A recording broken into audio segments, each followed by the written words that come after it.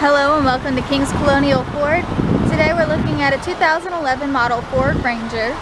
This one is just a run-of-the-mill work truck, good little truck. It has a commercial top on the back that is kind of like a toolbox the way they have it set up. So you pull it up, twist it, and then I might have to have two hands. There we go. And so the bed liner is not lined, but you have this top on, on there. Great tread life on the tires. Extended cab. You have roll-up windows, manual locks. All-weather flooring, so it's easy to keep clean. You have the sport seat, so it's black with gray cloth inserts. You do have the ability to seat a couple people in the back with these um, side sitting chairs.